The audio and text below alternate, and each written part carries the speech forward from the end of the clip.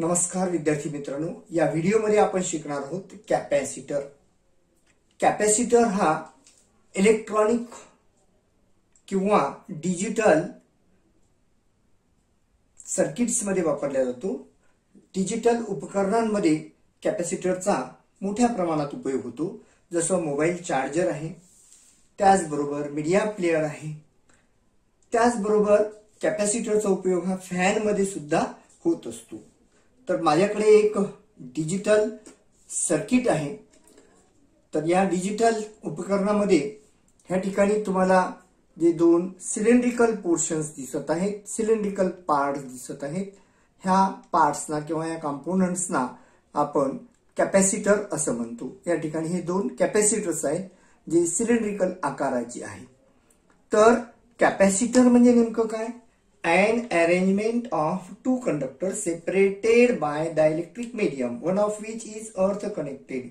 It is called as capacitor तर कॅपॅसिटरमध्ये दोन कंडक्टर्स असतात. जसा हा एक कंडक्टिंग कंडक्टर आहे हा दुसरा कंडक्टर आहे. हे दोन कंडक्टर्स याच्या दोन कंडक्टरच्या मध्ये एक डायलेक्ट्रिक म्हणजे बॅड कंडक्टिंग मीडियम भरलेलं असते. आणि या दोन कंडक्टर पैकी एका कंडक्टरला अर्थिंग केलेलं असते. अशा अरेंजमेंटला आपण कॅपॅसिटर असं म्हणतो. तर या ठिकाणी जो कॅपॅसिटर आहे तशाच प्रकारचा कॅपॅसिटर मी या ठिकाणी खोललेला आहे ओपन केलेला आहे. तर ह्या कॅपॅसिटरमध्ये असते एक मेटल कव्हर जे या ठिकाणी तुम्हाला ह्या कॅपॅसिटरमध्ये दिसत आहे. पांढऱ्या रंगाचं मेटल कव्हर तर अशा प्रकारचे सिलेंड्रिकल मेटल कव्हर आहे. त्यावर एक पॉलिथिन लावलेलं आहे जे या ठिकाणी मी काढून टाकलेलं आहे. आणि त्याच्या आतमध्ये दोन मेटल पट्ट्या असतात. जसं ही एक पट्टी आहे आणि या पट्टीच्या मध्ये इन्सुलेटिंग मीडियम आहे. जसं हे तुम्हाला दिसत आहे तर हे आहे इन्सुलेटिंग मीडियम आणि त्याच्यावर आणखी एक पट्टी. म्हणजे दोन पट्ट्यांच्या मध्ये हे इन्सुलेटिंग मीडियम आहे आणि ह्या दोन पट्ट्या म्हणजे ह्या कॅपॅसिटरचे दोन कंडक्टर्स आहेत. ह्या दोन पट्ट्यांना दोन वायर्स जोडलेली असतात आणि ही दोन वायर्स अशा कॅपमधून बाहेर काढलेली असतात. आणि ही सर्व अरेंजमेंट जी आहे ती एका मेटल केसमध्ये बंद केलेली असते. आणि ह्या अरेंजमेंटला आपण म्हणतो कॅपॅसिटर. तर विद्यार्थी मित्रांनो कॅपॅसिटर म्हणजे काय हे तर आपण पाहिलेलं आहे. पण या कॅपॅसिटर नेमकं कशासाठी वापरले जाते? तर capacitor is a device which has capacity to store a charge charge साठवून ठेवण्यासाठी कॅपॅसिटरचा प्रामुख्यानं उपयोग होतो. आणि त्याचबरोबर हा साठवलेला जो चार्ज आहे तो वेगवेगळ्या इलेक्ट्रॉनिक डिव्हाइसमध्ये वेगवेगळ्या कार्यासाठी वापरला जातो. तर अशा ह्या कॅपॅसिटरचा मध्ये किती चार्ज आपण साठवू ठेवू शकतो याला आपण कॅपॅसिटन्स किंवा कॅपॅसिटी ऑफ द कॅपॅसिटर असं म्हणतो. तर कॅपॅसिटन्स म्हणजे काय? The ratio of charge to potential of a capacitor is called its capacity. तर एखाद्या कॅपॅसिटरमध्ये जेव्हा आपण चार्ज स्टोअर करतो त्यावेळेस त्यात पोटेन्शियल निर्माण होते. आणि ह्या चार्ज आणि पोटेन्शियलचा रेशो म्हणजे क्यू अपॉन व्ही ह्याला आपण म्हणतो कॅपॅसिटी किंवा कॅपॅसिटन्स ऑफ द कॅपॅसिटर ह्या कॅपॅसिटन्स युनिट आहे याचा युनिट ऑफ कॅपॅसिटन्स फॅरेड आणि याचे डायमेन्शन्स आहेत M minus one L minus two T raise to four A raise to two या ठिकाणी ए म्हणजे unit of current that is ampere म्हणजे ए म्हणजे करंट टी म्हणजे टाइम एल म्हणजे लेंथ आणि एम म्हणजे मास डेफिनेशन ऑफ फॅरेड तर आपण पाहिलं की कॅपॅसिटन्सचं युनिट हे फॅरेड आहे. मग एक फॅरेड कशाला म्हणायचं? The capacitance of a capacitor is one farad if one coulomb charge require to raise its potential by one volt तर एक फॅरेड कॅपॅसिटी म्हणजे काय? जर एखाद्या कॅपॅसिटरची कॅपॅसिटी ही एक फॅरेड असेल वन फॅरेड असेल तर त्या कॅपॅसिटरमध्ये वन कुलोम चार्ज जर आपण ऍड केला तर त्याचं पोटेन्शियल वन होल्टनं वाढते. उदाहरणार्थ जर पाच होल्ट पोटेन्शियल असेल त्याचं सहा होल्ट सिक्स होल्ट पोटेन्शियल करण्यासाठी जर वन कुलोम चार्ज आपल्याला त्या कॅपॅसिटरला द्यावा लागत असेल तर त्याचा अर्थ ह्या कॅपॅसिटीची कॅपॅसिटरची कॅपॅसिटी आहे वन फॅरिड. आता आपण पाहणार आहोत प्रिन्सिपल ऑफ कॅपॅसिटर हे कॅपॅसिटर नेमकं कोणत्या तत्वावर आधारित आहे? प्रिन्सिपल ऑफ कॅपॅसिटर तर principle of capacitor is nothing but it is the electrostatic induction तर इलेक्ट्रोस्टॅटिक इंडक्शन म्हणजे काय? समजा एक चार्ज बॉडी आहे त्याच्यावर पॉझिटिव्ह चार्ज आहे आणि त्याच्याजवळ जर आपण अनचार्ज बॉडी ठेवली तर चार्ज बॉडीमुळं अनचार्ज बॉडीमध्ये चार्ज निर्माण होतो. त्याच्या जवळच्या म्हणजे नियर एंडला हा अनलाईक म्हणजे निगेटिव्ह चार्ज तयार होईल आणि दूरच्या म्हणजे फार एंडला पॉझिटिव्ह चार्ज तयार होतो. ह्या गुणधर्माला किंवा या प्रिन्सिपलला आपण म्हणतो इलेक्ट्रोस्टॅटिक इंडक्शन आता या ठिकाणी हा जो दूरचा चार्ज आहे तो असतो फ्री चार्ज आणि याला जर मी अर्थ कनेक्शन दिलं अर्थिंग केलं तर हा चार्ज डिसेपियर होतो. तर ह्याच तत्वावर हा कॅपॅसिटर आधारलेला आहे. तर या ठिकाणी समजा दोन कंडक्टर्स आहेत. याला आपण नाव देऊ. पी वन पी टू आणि पी वन ह्या कंडक्टरवर मी प्लस क्यू एवढा चार्ज निर्माण केलेला आहे. तर ह्या पी वन कंडक्टरमुळं पी टू ह्याच्या आतील भागावर मायनस क्यू चार्ज निर्माण होईल आणि बाहेरच्या भागावर प्लस क्यू चार्ज तयार होईल. तर हा प्लस क्यू चार्ज जो आहे तो अर्थिंग करून आपल्याला काढून टाकता येतो आणि त्यामुळं ह्या कॅपॅसिटरवर फक्त एका प्लेटवर प्लस क्यू चार्ज आणि एका प्लेटवर मायनस क्यू चार्ज आपल्याला दिसून येईल. आता या ठिकाणी प्लेट पी वन ची जी कॅपॅसिटी आहे त्याला आपण सी वन म्हणू. फक्त एकच प्लेट असती आपल्याकडे फक्त एकच प्लेट असती पी वन. तर त्या पी वन प्लेटची कॅपॅसिटी जर याच्यावर प्लस क्यू चार्ज असेल तर त्याची कॅपॅसिटी राहील क्यू अपॉन व्ही वन. परंतु या ठिकाणी दोन प्लेट जवळजवळ आहेत. त्यामुळं अनलाईक चार्जेस या ठिकाणी तयार होतात आणि त्यामुळं त्याचं पोटेन्शियल रिड्यूस होते. समजा ह्या अरेंजमेंटचं पोटेन्शियल आहे व्ही टू तर समजा व्ही टू म्हणजे पी टू ह्या प्लेटचं पोटेन्शियल आहे आणि व्ही वन हे प्लेट पी वनचं पोटेन्शियल आहे. तर रिझल्टंट पोटेन्शियल राहील V is equal to V one minus V two आणि त्यामुळं ह्या अरेंजमेंटची कॅपॅसिटी म्हणजे C two is equal to Q upon V म्हणजेच Q upon V one minus V two आता obviously V one minus V two is less than V one V one minus V two is less than V one म्हणजेच V one minus V two हे V वनपेक्षा कमी आहे. आणि त्यामुळं V one minus V two हा denominator असल्यामुळं C two हा सी वनपेक्षा जास्त म्हणजे C two is greater than C one तर ह्या सूत्रावरून आपल्या असं लक्षात येते की जर आपण एकच प्लेट घेतली तर त्यामध्ये त्याची कॅपॅसिटी कमी असते. तेवढ्या चार्जवर त्याचं पोटेन्शियल जास्त असल्यामुळं क्यू अपॉड व्ही व्हीची व्हॅल्यू जास्त असल्यामुळं सीची व्हॅल्यू कमी होते. तर सिंगल कंडक्टर जर वापरला तर त्याची कॅपॅसिटी कमी असते. पण त्याऐवजी जर आपण कॉम्बिनेशन केलं दोन कंडक्टर्सचं पी वन आणि पी टू तर त्यामुळे आपल्याला जास्त कॅपॅसिटी प्राप्त होते. तर अशा ह्या अरेंजमेंटला आपण कॅपॅसिटर असं म्हणतो. आता टाईप्स ऑफ कॅपॅसिटर तर कॅपॅसिटरमध्ये जे दोन कंडक्टर्स वापरलेले आहेत त्याच्या साईजवरून कॅपॅसिटरचे प्रकार पडतात. तर कॅपॅसिटरचे तीन प्रकार आहेत. Number one parallel plate capacitor ज्यामध्ये प्लेटचा आकार हा प्लेन सीट सारखा असतो आणि ह्या दोन प्लेट्स एकमेकांना पॅरल ठेवलेले असतात. त्यामुळे ह्याला म्हणतात पॅरल प्लेट कॅपॅसिटर. दुसरा आहे स्पेरिकल कॅपॅसिटर ज्याच्यामध्ये दोन कंडक्टर जे असतात ते स्फिअरच्या आकाराचे असतात. म्हणून याला स्फेरिकल कॅपॅसिटर म्हणतात. आणि तिसरं आहे सिलेंड्रिकल कॅपॅसिटर. ह्या सिलेंड्रिकल कॅपॅसिटरमध्ये दोन सिलेंडर्स असतात आणि जे को एक्सियल असतात म्हणजे दोन्हीची एक्सिस सेम आहे.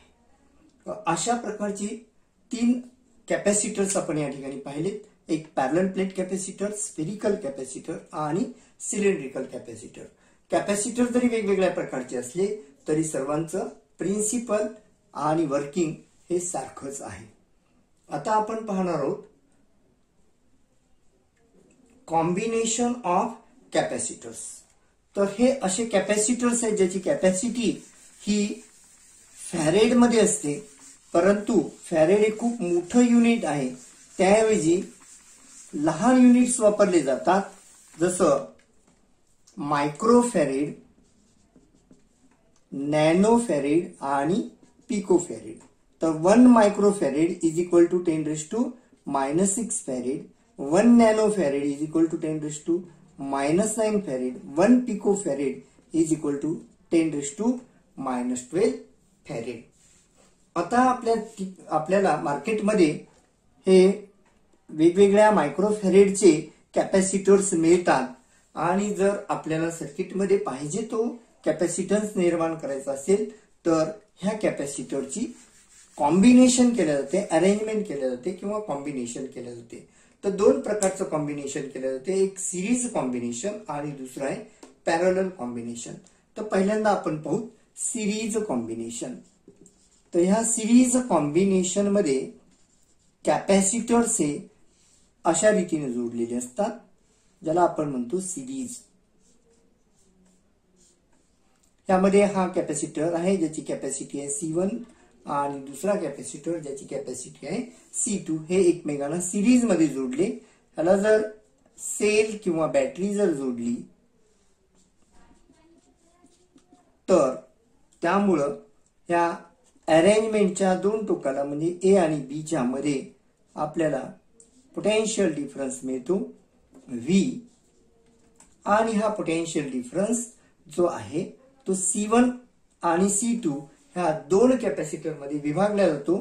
तो अक्रॉस सी वन म्हणजे सी वनच्या अक्रॉस आपल्याला पोटेन्शियल डिफरन्स मिळतो व्ही वन आणि सी टूच्या अक्रॉस आपल्याला पोटेन्शियल डिफरन्स मिळतो व्ही टू आणि त्यामुळं V is equal to V one plus V two आता आपल्याला माहिती आहे की C is equal to Q upon V आणि म्हणून C one is equal to Q upon V one आणि C two is equal to Q upon V two So putting this value or from this V1 is equal to Q upon C1 and V2 is equal to Q upon C2. आता या V1 आणि V2 ची जर value आपण यामध्ये ठेवल्या तर आपल्याला मिळेल V is equal to Q upon C one plus Q upon C two Q जर कॉमन घेतला तर one upon C one plus one upon C two आता हा क्यू जर लेफ्ट साईडला घेतला तर V upon Q is equal to one upon C one plus one upon C two आणि आपल्याला माहिती आहे की Q upon V is equal to C म्हणून V upon Q is equal to one upon C म्हणून V upon Q ला आपण लिहू one upon C is equal to one upon C one plus one upon C two तर हा जो C one आहे हा सी जो आहे याला सी याला म्हणतात equivalent capacity of series combination तर सी ची व्हॅल्यू आपल्याला काढता येते. C is equal to C one C two divided by C one plus C two आता या ठिकाणी जर दोनच्या ऐवजी दोन पेक्षा जास्त म्हणजे एन कॅपॅसिटर्स हे सिरीजमध्ये जोडले असतील तर त्याची कॅपॅसिटी आपल्याला रिझल्टंट कॅपॅसिटी मिळेल. One by C is equal to one by C one plus one by C two plus one by C three up to one by C N तर ह्या कॉम्बिनेशनला आपण म्हणतो सिरीज कॉम्बिनेशन दुसऱ्या प्रकारचं जे combination आहे त्याला आपण म्हणतो पॅरल कॉम्बिनेशन आपल्याला आपला न्यूमरिकल एक्झाम्पल सोडवायचा आहे त्यासाठी हा फॉर्म्युला लागणार आहे. तो फॉर्म्युला आपण या ठिकाणी लिहून घेऊयात. C is equal to C one C two divided by C one plus C two हा आहे सिरीज कॉम्बिनेशनचा फॉर्म्युला आता आपण पॅरल कॉम्बिनेशन पाहूयात.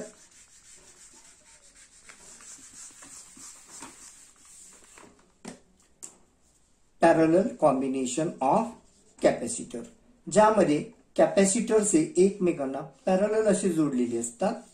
ज्याच्या ज्या प्लेट्स किंवा कंडक्टर्स आहेत हे एका कॉमन पॉइंटला जोडलेले आहेत आणि दुसऱ्या प्लेट्स किंवा कंडक्टर्स हे दुसऱ्या कॉमन पॉइंटला जोडलेले आहेत. आणि ही जी अरेंजमेंट आहे ती एका सेल किंवा बॅटरीला जोडलेली आहे.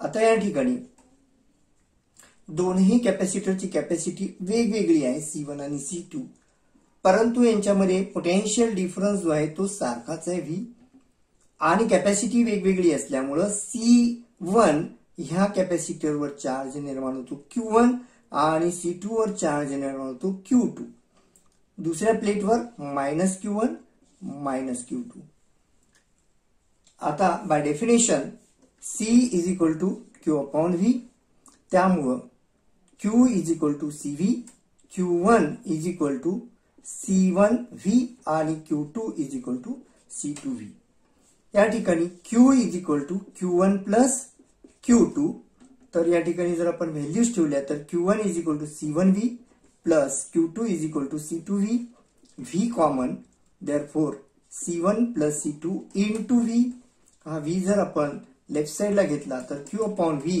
is equal to C one plus C two पण आपल्याला माहिती आहे की Q upon V is equal to C म्हणून C is equal to C one plus C two या ठिकाणी सी ला म्हणायचं equivalent capacity of the parallel combination तर जर एन कॅपॅसिटर्स असे आपण पॅरल जोडले तर C N is equal to C one plus C two plus C three up to C N तर याला म्हणायचं पॅरल कॉम्बिनेशन आणि याचा इक्विव्हलंट कॅपॅसिटी सिटन्स आहे C is equal to C one plus C two N capacitors असतील तर C one plus C two plus C three up to C N आता आपण आपलं न्यूमरिकल एक्झाम्पल सुरूया ह्या न्यूमरिकल एक्झाम्पलमध्ये एक फिगर दिलेली आहे. प्रश्न आहे from figure find the capacitance of capacitor C if capacitance between A and B is one microfarad A आणि बी म्हणजे या पूर्ण सर्किटचा जो रिझल्टंट किंवा इक्विलंट कॅपॅसिटन्स आहे तो आहे वन मायक्रोफेरेड आणि या ठिकाणी बरेचसे कॅपॅसिटर्स दिलेले आहेत जे काही सिरीजमध्ये आहेत काही पॅरलमध्ये आहेत. तर कंबाईन कॉम्बिनेशन आहे. आणि आपल्याला काढायचे कॅपॅसिटी सी ची व्हॅल्यू काढायची आहे. या ठिकाणी C one C two C three C four आणि सी फाईव्हच्या व्हॅल्यूज ह्या दिलेल्या आहेत. आणि सी ची व्हॅल्यू काढायची आहे. तर आपण या ठिकाणी पहिल्यांदा ह्या सर्किटला सिंपल करूयात जसं सी थ्री आणि सी फोर हे पॅरल आहेत. सी थ्री आणि सी फोर हे पॅरल आहेत. आणि त्यामुळं ह्याचा जो रिझल्टंट आहे तो मिळेल आपल्याला. आपण याला म्हणू सी ए आणि हे पॅरल असल्यामुळं parallel combination C is equal to C one plus C two म्हणजे या ठिकाणी C A is equal to C three plus C four आणि सी थ्री ची व्हॅल्यू आहे four microfarad plus C four ची व्हॅल्यू आहे four microfarad म्हणजे आपलं आन्सर आलं एट मायक्रोफेरेड आता हे सर्किट अशा प्रकारचं होईल. हा सी फाईव्ह आणि ह्या दोन्हीचं कॉम्बिनेशन म्हणजे सी ए हे दोन्ही आता सिरीजमध्ये आहेत. जसं हा सी फाईव्ह आणि हा दोन्हीचं कॉम्बिनेशन जे आहे सी थ्री आणि सी फोरचं ह्याला आपण म्हणून सी ए. आता हे सी फाईव्ह आणि सी ए हे सिरीजमध्ये आहेत. तर या सिरीजचा इक्वेलंट रेजिस्टन्स येईल सी बी आणि पॅरल कॉम्बिनेशनसाठी फॉर्म्युला आहे. C B is equal to C one C two divided by C one plus C two म्हणजे C five C A divided by C five plus C A तर C फाईव्हची value आहे one microfarad multiplied by C एची ची value आहे eight microfarad divided by C A one plus eight म्हणजे eight by nine microfarad आता या ठिकाणी ह्या तीन कॅपॅसिटरचा म्हणजे सी थ्री सी फोर आणि सी फाईव्ह ह्या सर्वांचा मिळून आपल्याला मिळालेला आहे एकच कॅपॅसिटर ज्याचा कॅपॅसिटी आहे सी बी आता हा या ठिकाणी सी वन आणि सी टू पाहूयात. सी वन आणि सी टू सिरीजमध्ये आहेत. सी वन आणि सी टू हे आहेत सिरीजमध्ये आणि सिरीज कॉम्बिनेशनसाठी फॉर्म्युला आहे C is equal to C one C two divided by C one plus C two तर हा फॉर्म्युला आपण वापरूयात. ह्या कॅपॅसिटी दोन्हीच्या रिझल्टंट कॅपॅसिटीला आपण म्हणू C C C C is equal to C one C two divided by C one plus C two तर सी वन आहे एट आणि सी टू आहे फोर म्हणून eight into four divided by eight plus four येत आहे thirty two divided by twelve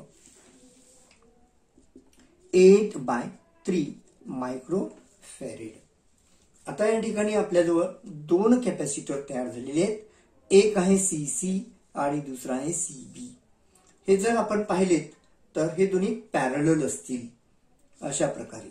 हा आहे capacitor C आणि हा सी थ्री सी फोर आणि सी फाईव्ह ह्यांचा मिळून तयार झालेला सी बी सी वन आणि सी टू पासून मिळालेला सी सी सी वन आणि सी टू पासून मिळालेला सी सी तर या ठिकाणी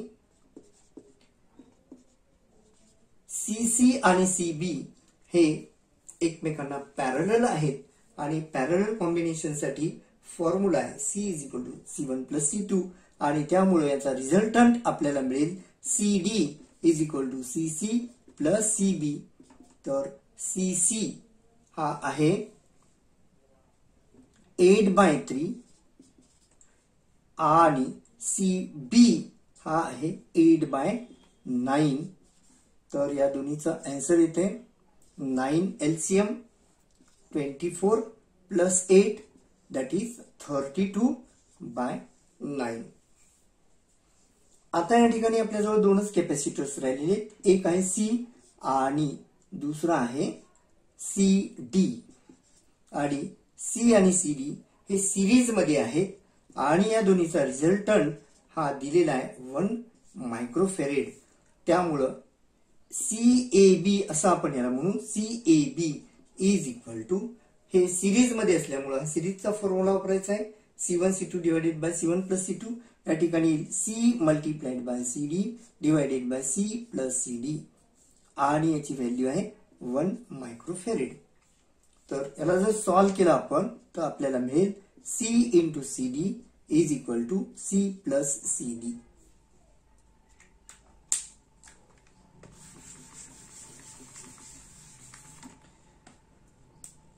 is equal to C C D is equal to C plus C D हा सी जर आपण लेफ्ट साइडला घेतला तर C into C D minus C is equal to C D C common घेतला C D minus one is equal to C D म्हणून C is equal to C D divided by C D minus one आणि C D ची value आपण काढलेली आहे. C D ची value आहे thirty two by nine म्हणून thirty two by nine divided by thirty two by nine minus one तर thirty two by nine minus one is equal to thirty two minus nine divided by nine तर हे answer twenty three by nine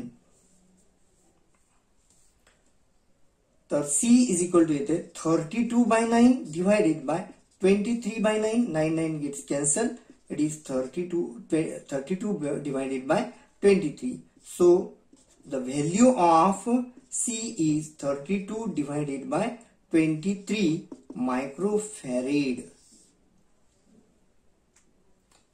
विद्यार्थी मित्रांनो हा video जर तुम्हाला आवडला असेल तर लाईक करा शेअर करा आणि या चॅनलला सबस्क्राईब करा.